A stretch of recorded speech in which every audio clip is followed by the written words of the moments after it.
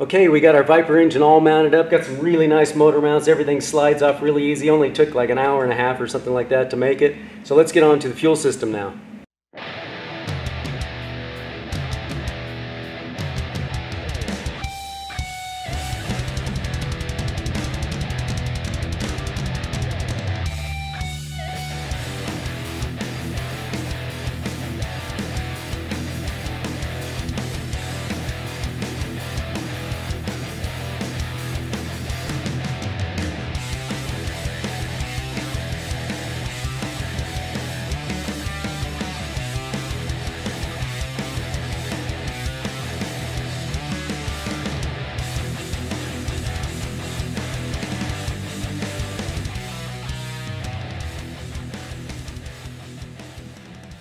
Okay, so now let's look at our fuel system.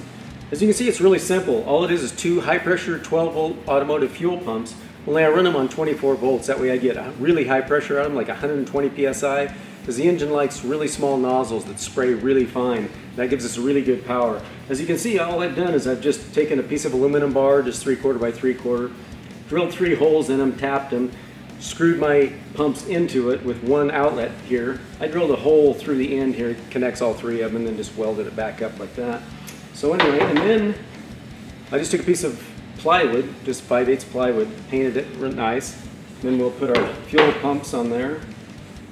Take our nice aluminum cover, slide that over it like that. Got a really nice looking fuel system.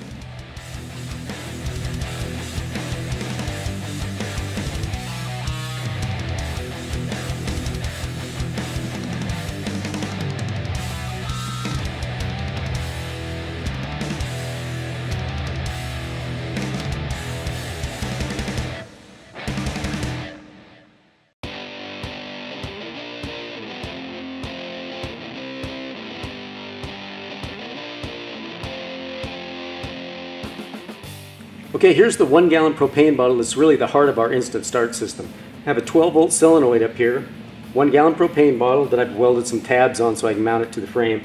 But make sure you do that with a brand new bottle that's never had propane in it. And then we'll just mount that down to the frame, hook the wiring up to a push button start, and away we go. Okay, now we're on to the electrical system for our Viper cart. It's really, really simple. It's just two 12 volt batteries that I run in series. Gives us 24 volts speed control, which gives us our throttle, two switches, just an on-off switch for our main, push button for our spark and our propane. This is a coil, just a 12 volt cheap, I think $12 coil. It's got a little relay on the side of it, which is also a dollar and a half or two dollars or something like that on eBay. 500 volt capacitor. And if you just email me, I'll shoot you the diagram for this and you can make it, it's just super simple. And that's all there is for the electrical on this cart. So I'm going to put it on right now and I think this is the last thing that we've got going on this.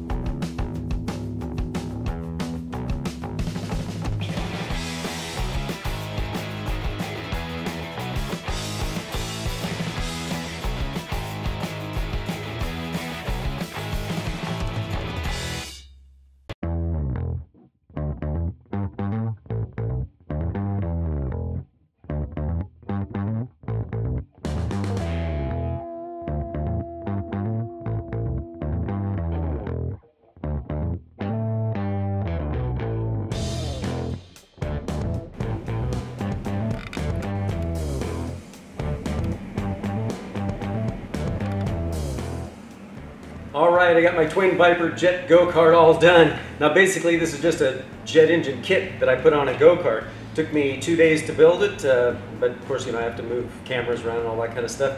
So we're gonna take it out and test it. But before we do that, let's take a good walk around this. I wanna show you exactly how everything works, how the plumbing and all the wiring works so you can get a go-kart and you can build one of your own. Okay, I'm gonna do a technical walk around of our Viper Jet go-kart. 100 pound thrust Viper engine. So here's the engine back here. And you can see this is a, a, propane line coming in here. That starts our engine. And then we have our diesel injectors back underneath there. Both those lines go up there. One goes to the propane bottle, one goes to the fuel pumps. So let's look at our fuel tank. Now this go-kart came with a fuel tank, which is really cool because I usually have to make them, but it was a shifter cart, so it's a nice big tank, and it has uh, two outlets which is also perfect because we have two fuel pumps we have to put fuel to. So the fuel comes out of there, goes down here, goes into our high pressure fuel pumps. Now these pumps are 12 volt um, high pressure pumps that usually make about 65 psi, but I run them on 24 volts and get about 120 or 130 psi out of them. Uh, so you want to atomize your diesel really fine, so the high pressure is really what you need. So the fuel comes out of the pumps, goes into this bar, and then goes out a single line to the engine. Now here's our propane bottle just for starting. It's a one gallon tank. Has a 12 volt solenoid up here.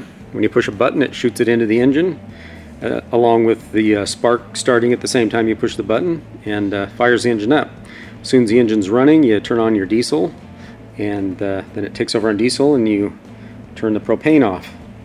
So let's go around on the other side and take a look at more of the electrical.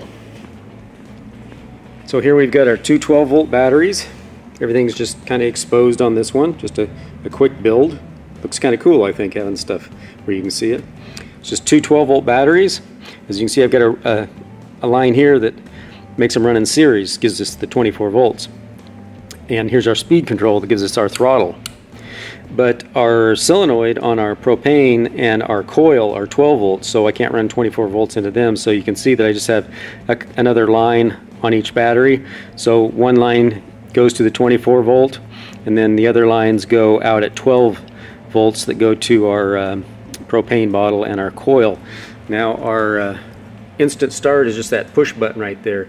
So to start the engine you just open up the propane bottle push that button and it opens up the propane and starts the coil at the same time and then it just blasts to life and you hold that down until you turn on the fuel pumps and it takes over on the diesel.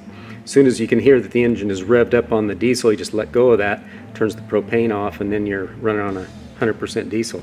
So as you can see, other than just, uh, you know, it's just a, some wiring that's here and there, nothing fancy at all. It's a super, super simple build. It took me uh, took me two days to build it, but you know, I'm moving cameras around all the time and everything, so um, I guess I should probably fire this thing up for you anyway. So. All right, so let's do a little quick pop. I'm gonna open up the propane bottle, put my headphones on, and pop it off for you real quick so you can see how cool the instant start is.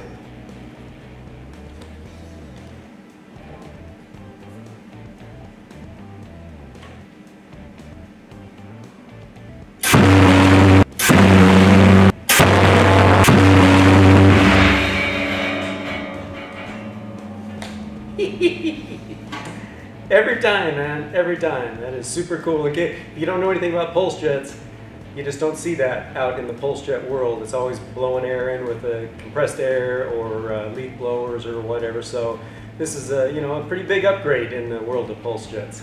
So it's time to get out on the road and give this thing a good, good run. Here we go.